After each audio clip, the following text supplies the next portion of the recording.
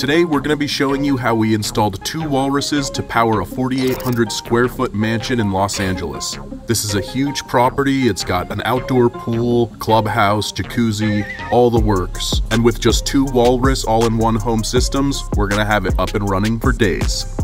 Now, as you guys all know, these are the 13 kilowatt hour batteries. We want to show you how clean the install was done. We got the AC cables coming in, and what we did here is we have two 200 amp sub panels here to be able to power up this home. This is a much larger home.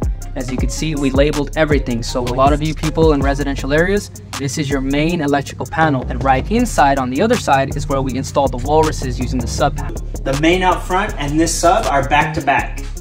So they're essentially sharing the same, they're within the same wall. Be about a day total because we had to get these sub panels wired up to the electrical panels, but the actual install of the plug and play Walrus was seamless and super quick.